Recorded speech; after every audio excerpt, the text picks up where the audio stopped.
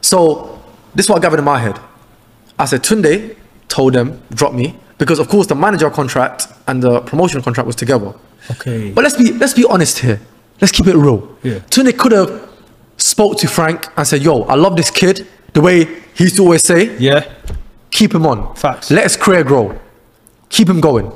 But he didn't do that. He didn't do that. He dropped Adas for me. He dropped the the the Frank Warren promotion for me, and I still said, you know what? I'm I'm I'm still a lion. I'm still a man. I'm still gonna move on. That's not gonna break me. I'm shit. gonna still box. You know what I'm saying? But then that's when I lost full respect for this guy.